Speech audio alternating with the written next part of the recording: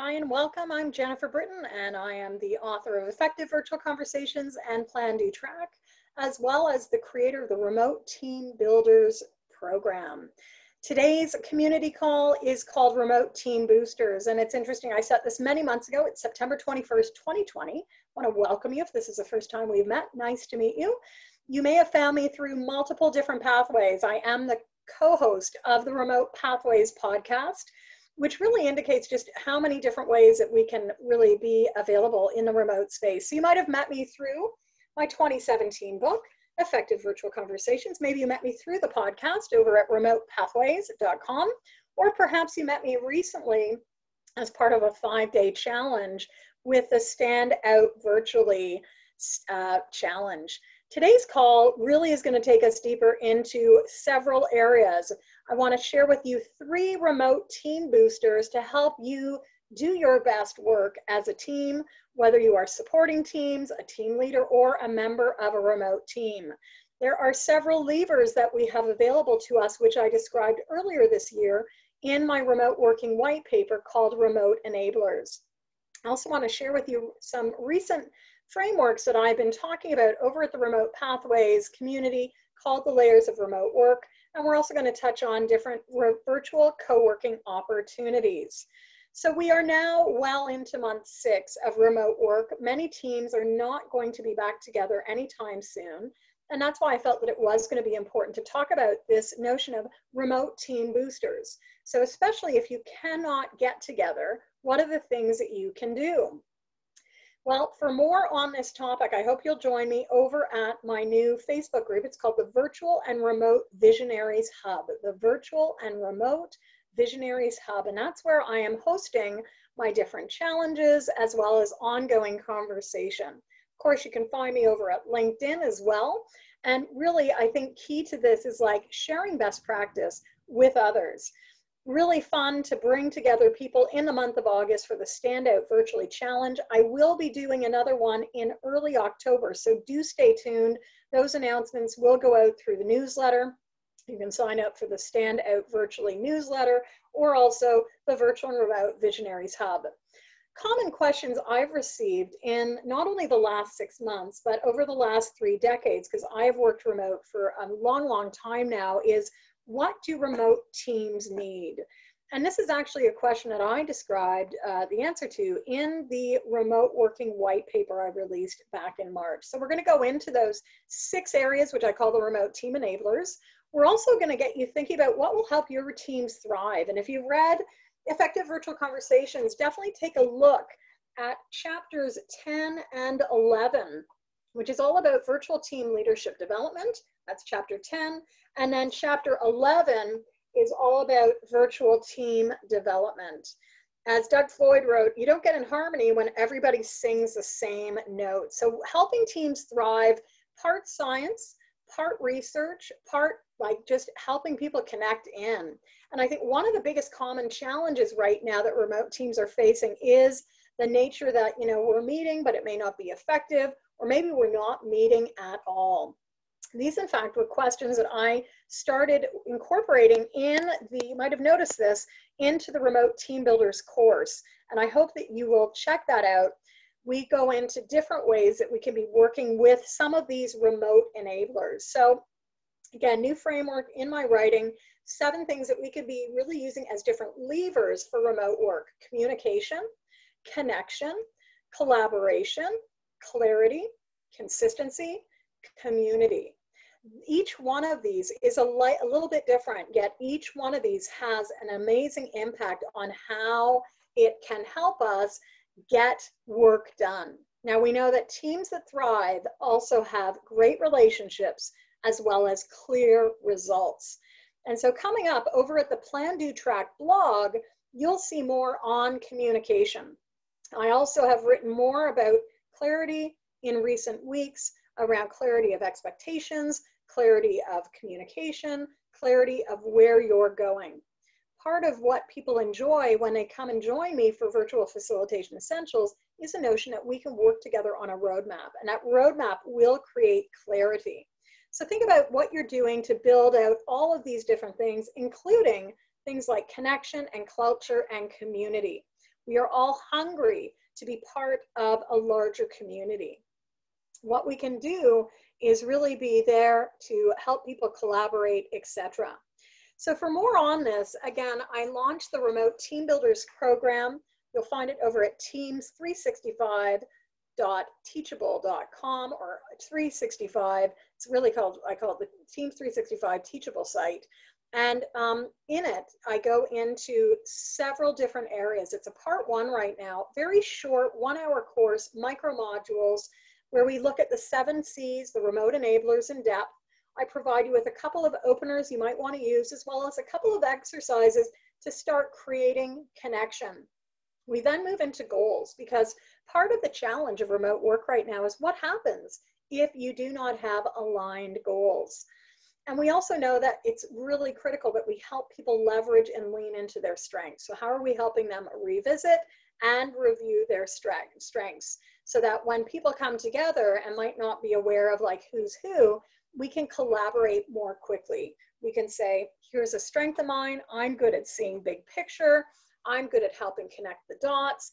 And I might be really well paired with someone who is, say, more micro in focus, is good at the details if we work separately, we might miss that whole, but together we can really create that connected, integrated 360. So another piece of this whole remote team builders is helping people understand their styles. What are their approaches? What is their impact? And how does that help us really focus and bring that totality to what we need? Ultimately, we want to make sure that we are focusing in on what next and making sure that we're leaving any conversation with clarity around what next. So I've just talked through the different content, but as you can see, the different content of the remote team builders con content actually reflects what we're doing in any team meeting, in any team practice, etc. So wanted to share with you some very practical things that you might be able to incorporate as an opener, a closer, or when you're having teams come together. And the first one is appreciations uh, you know, we don't always take time to say thank you.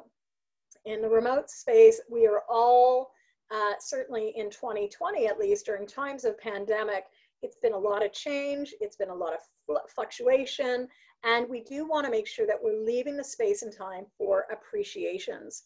Are we saying thanks? Are we focusing in on um, acknowledging what we see as strengths in others and how they're showing up? If you haven't taken time recently to get people to say thank you to each other or connect in in smaller breakout rooms, now is a time and a great opportunity for you to do so. Recently, in the Remote Pathways community, over at our podcast, we talked about the eight layers of remote work. So we can say thank you, but one of the appreciations really stems from the fact that we're all working on different layers. So I thought it might be useful to just share more on this. For those that are interested, head on over as well to my YouTube channel and you can take a look at the first September 2020 call, which I've termed eight layers of remote work. What is interesting is sort of this whole notion of multiple layers in remote work. Again, as the world went remote earlier this year, it was like we're all working remote. But in fact, there's multiple, multiple layers here. And the first one is that there's many pathways to the digital space. One of the reasons why I call remote pathways such is that we all have different adventures in the remote space. And in fact, remote pathways came out of a book I wrote last summer, which really highlights the experiences of 12 different remote workers coming together for a mastermind. So what are you doing as you move forward with the digital space? Secondary is decisions. What are we doing to make and take different decisions? What's interesting, if you think about ourselves being part of a team, and let's imagine the digital dozen who you see uh, pictured here are part of a team. We're all making different decisions at different times. So I might make a decision which pulls me off this pathway. Sujit, my colleague who's a project manager, might be taking his, making a decision that takes him out this way we might think that we're going out this way and perhaps we do for a while, but then maybe a team meeting brings us back together. And because we've traveled those different pathways, how do we now share that learning? Are we leaving space to help share that learning as we go? it's another layer. And again, for those that are new, uh, you might be wondering, okay, well, that's a lot. That's pretty deep. But you know, for those of us that really are um, looking and have been working this way, how do we help people make better decisions and connect the dots? Everything we do on a remote team, we want to bring it back to what's our common ground, what's our common experience. And that's going to help us with decision making and also delegation and figuring out what we are going to design. Design is key and visual design is key. It really, we need to all have that shared roadmap. And if I'm working on the upper corner of a blueprint, I might not see what's happening on the bottom corner of the blueprint. So part of remote pathways is about seeing the big picture of design, making sure we know what area we're focusing on. As we know more about the team, our strengths and our abilities, which we can only get to by dialogue, that's then going to help us figure out what are we doing and what might we need to delegate. We can't do it all. And many have been looking and trying in the last several months to do everything. Be in the role that you had pre COVID that might have shifted dramatically. Be a leader, run a business, be a parent, be a caretaker, while maybe you're not feeling well as well. And so many of us have had to learn how to delegate more efficiently in order to keep things running. And I put myself in that category. Some of you know that early on in the pandemic, back in April and May, I started feeling unwell. And while I kept things moving, I really had to lean into my team in order to do that. And we're going to continue to grow as the to do list and the to dos of many teams and leaders that we support is continuing to grow.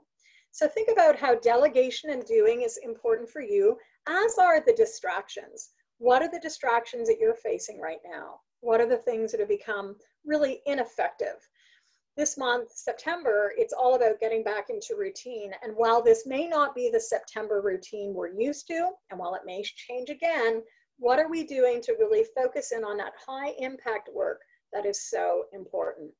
It's that high impact that's going to allow us to go into the depths that we need to go into to do our best work.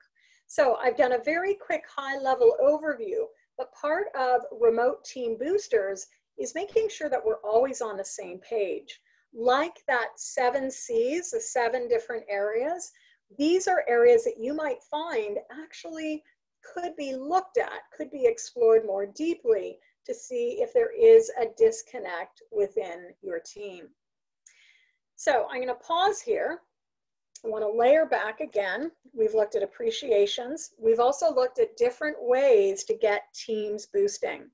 At its core, teams need to know each other, trust each other, and have clarity around results. That's why with remote team builders, we start with the enablers. What are those levers you can move? What are the things that you could be doing to create connection? And what are you doing as well to make sure that you are clear on your goals? We also want to make sure that we are leveraging our strengths so that people can really bring and partner in the best way possible. Keep in mind, if our partnerships are too similar, it's not going to be valuable. And that's where doing extended work around styles can be of great impact. So this leads us then to one specific type of work, which of course is co-working.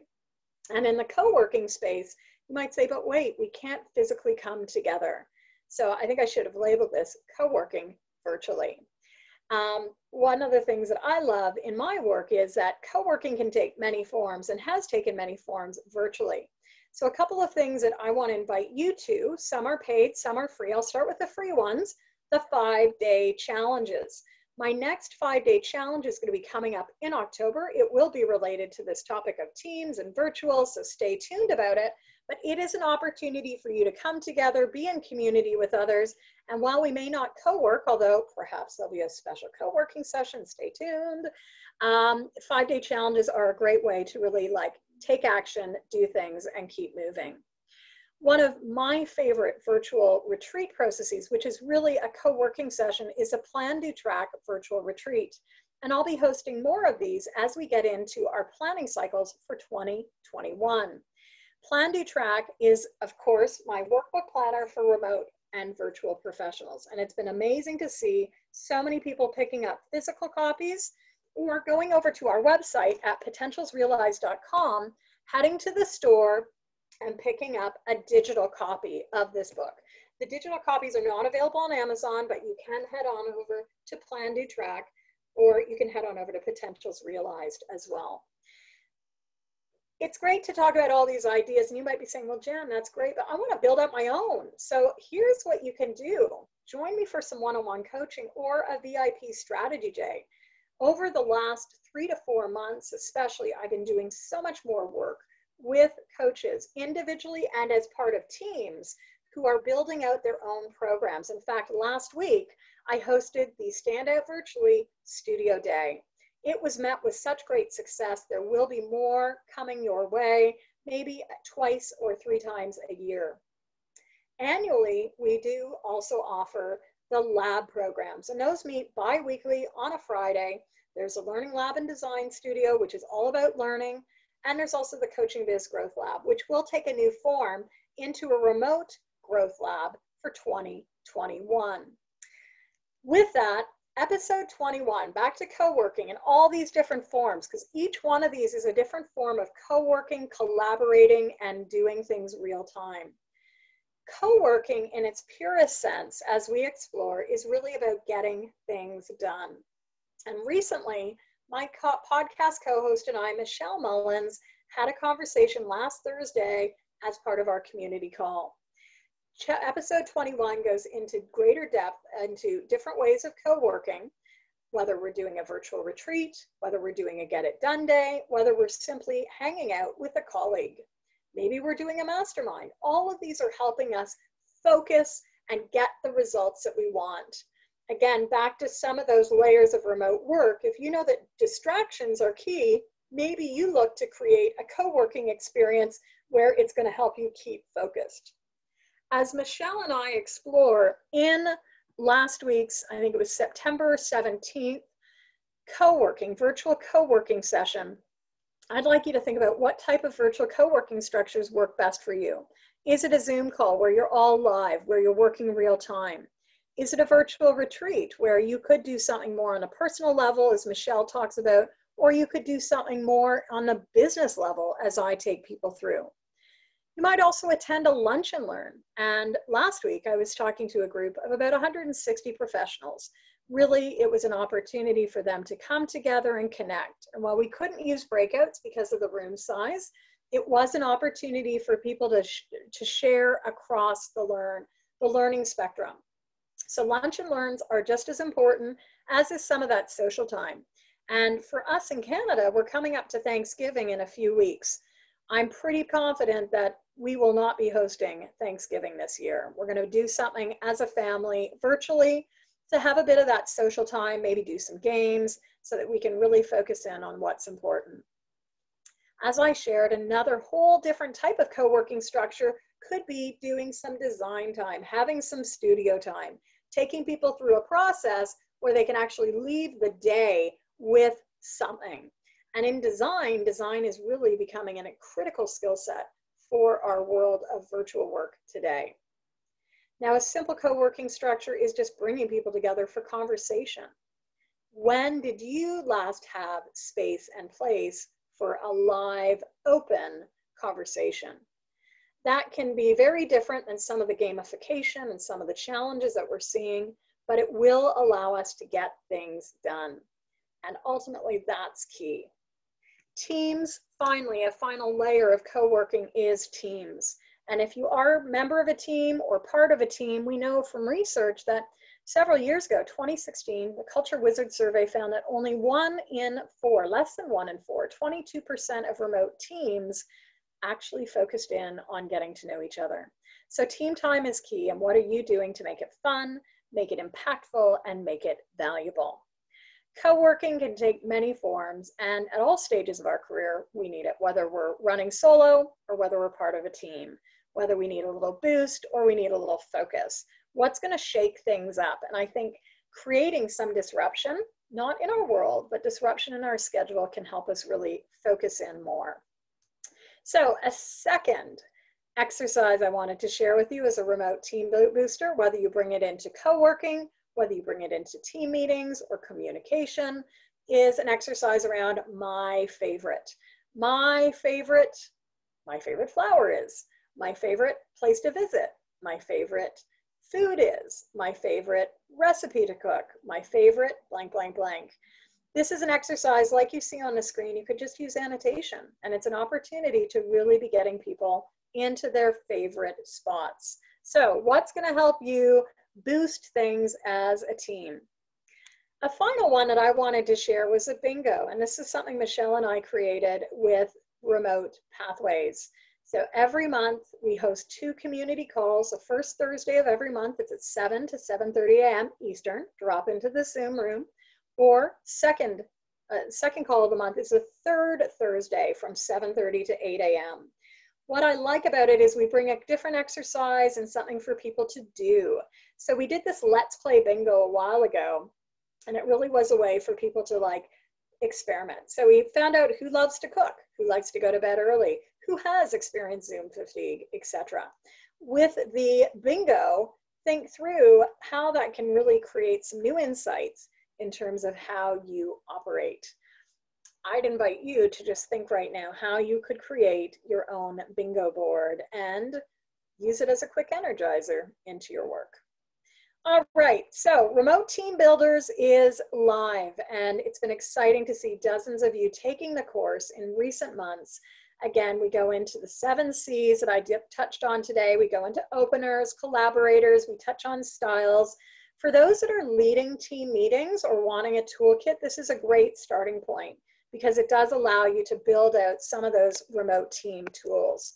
So with that, I hope that you found this useful. My invite is, what's the thing that's gonna help you co-work better or collaborate better in the remote space? I hope that you'll consider maybe joining me this fall for an upcoming program perhaps also that five day challenge that's coming up soon. And here's where you can find out more. You can reach out to me and say, Jen, I want to learn more about that five day challenge. You can do that by emailing me, jennifer at potentialsrealized.com, or simply head on over to standoutvirtually.com and you'll see a sign up for the new challenge list. It is going to be about virtual, it's likely to be about teams. I hope that you will join me in thinking about and taking action on some work around virtual teams. Co-working is key. These layers of remote work are key, as are the enablers. What are we doing to build out all of these different areas? And with that, thanks for joining us. If you enjoyed this, please share with others. Also, if you enjoyed us, be sure to pick up either a copy of the remote white, the remote working white paper, which you'll see at any of the websites, or also check it out. Um, check out the Remote Pathways podcast. Thanks for spending 15, 20 minutes with us today. My pleasure to be here. Have a good one and a great September. Be well.